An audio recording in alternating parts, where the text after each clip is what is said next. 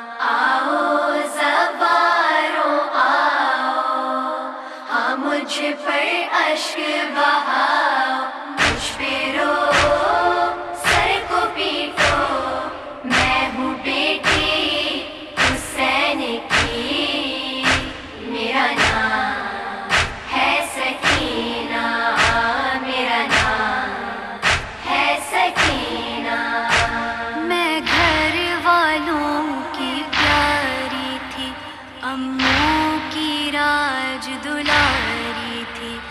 मेरा भैया मुझ पर सदते था। मेरी अम्मा मुझ पर वारी थी। मेरा हाल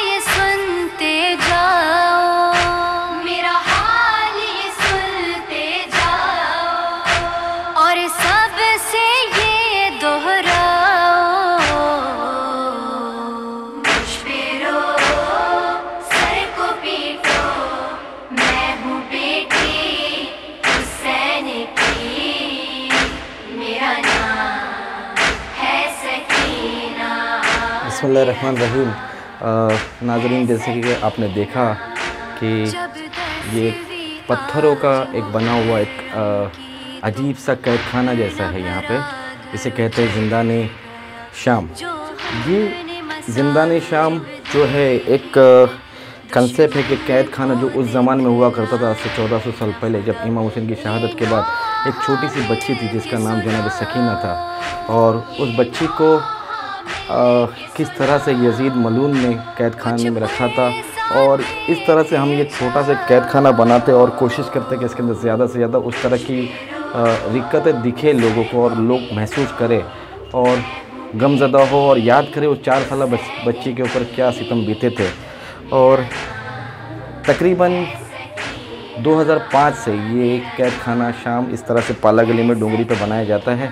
मोहम्मद अली भाई बुधवानी इसके अंदर बहुत सपोर्ट देते हैं। अंजुमन शमशेर हैदरी जक की जाने से ये बनता है। और हज़ारों की तादाद में यहाँ पे ज़ायरीन आते हैं, तुरबत सकीना की ज़ियारत करते हैं और दुआएँ करते हैं, दुआ मांगते हैं, मन्नतें करते हैं। माशाल्लाह उनकी मन्नतें पूरी होती है। अगले साल वो लोग फिर आते हैं, फिर मन्नतें करते हैं, फिर मन्नत पूरी होती है। बस एक याद है सकीना का, ये छोटा सा एक आज़ादारी का जूस है, जिस तरह से यहाँ पे मनाया जा रहा है पाला गली में। इसे कहते हैं ज़िंदा शक सकीना और ये है तुरबद शकीना की शबी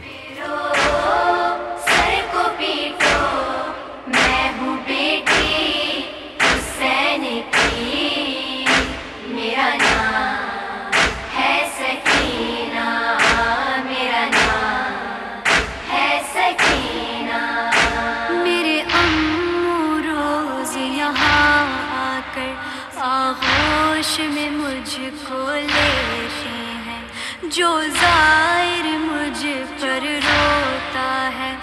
अब्बास दुआएँ देते हैं, या मातम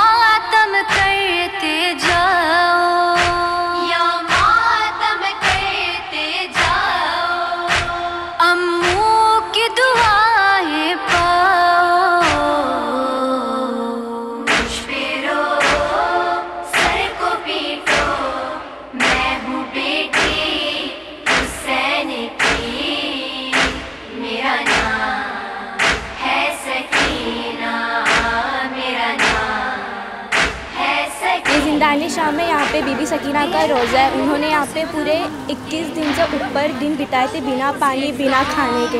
और ये एक सच्ची कहानी है यहाँ पे। बीबी सकीना की कब्र है वहाँ अंदर जिद्दा निशान ज़्यादा करे जाए बीबी सकीना की कब्र है जियारत करने जा रही है। हर साल ये लगता है और हर साल आते हैं और यहाँ पे दुआ मांगने से पूरी भी होती है मन्नत मांगते हैं यहाँ पे।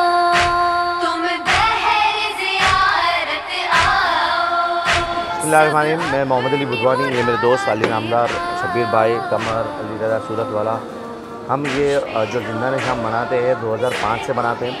और इसका उससे हम पहले दो तीन, दो साल हमने मंजर कशी की है खेमा बनाया है और करबला बनाई मौला हुसैन का नहर फुरात बनाई थी। उसके बाद में अचानक में तीसरे साल हमको क्या करना, समझ में नहीं आ रहा था। मगर कुछ हमने मजलिसों में सुना था कि ऐसा जिंदान शाम होता बीबी सकीना का। तो इस हिसाब से हम सोच रहे थे कि किस तरीके से बनाएँगे तो ऑटोमेटिक हमारे कारीगर ने हमने ऑटोमेटिक बनता गया और हम बनाते गए और ऑटोमेटिक ये बन गया। उसके बाद में हमने तो कभी गए नहीं थे, ना सीरिया, ना हम गए थे, कोई भी हम में से कोई नहीं गया था सीरिया। तो जो पहले गए थे, उन्होंने बताया था कि इस तरीके से रहता उस अंदाजे से हमने बनाया था। उसके बाद में अलहमदिल्ला हमने 2008 2009 को सीरिया गए तो वहाँ जाके देखा तो एक ऑलमोस्ट सेम हमने बना लिया था। ये अल्लाह का और ये इमाम हुसैन का करम ही है कि जो हमने इस तरीके से जिंदान शाम बनाया और ऑलमोस्ट एक रिपिका निकल गया। ये मौजूदा ही है, मौला का करम ही है मौजूदा ही है। और अलहमदिल्ला हम बनाए, उसके बाद में मुमरा में बना, फिर अहमदाबाद में बना में हर जगह पे बनता है ये और सालों साल से बनता हुआ आ रहा है। और अहमदाबाद में तो फिक्स है मुमरा में 40 दिन के लिए बनता है। यहाँ पर शॉर्ट टर्म के लिए बनता है क्योंकि हमारी गली है बीच में। रोड है रोड पे बनता है दस दिन से ज़्यादा नहीं बनता है। अलहमदिल्ला लोग आते हैं मन्नतें पूरी होती है। कितने लोग आते हैं अपनी मन्नतें पूरी करते हैं। गैर कौम के लोग हैं जो गैर मुसलमान हैं वो लोग आते हैं उन लोग मन्नतें मांगते हैं उनकी मन्नतें पूरी होती है। अलहमदिल्ला बहुत ही करामत चीज़ है और बीबी सकीना ऑब्वियसली इमाम हुसैन की बच्ची थी इतनी तकलीफ़ में रही है तो ऑब्वियसली इनकी मसाहब से और इनके दर से तो मन्नतें पूरी होना ही होना है। जिन्होंने जिन्होंने ज़्यारत किया उनसे भी आप पूछ सकते हो। आपने किसी का इंटरव्यू भी लिया होगा, उन्होंने भी बताया होगा कि आपको उन सबकी मन्नतें पूरी होती अल्हम्दुलिल्लाह, हम जो बनाए हमारी भी औकात नहीं थी, हमारी भी औकात बनाने वाले यही है। हमारे पास भी कुछ नहीं था, जब हम बनाते थे, उसके बाद से हम अलहमदिल्ला हमारे सबकी औकात बदल गई। शुक्रिया बहुत बहुत शुक्रिया।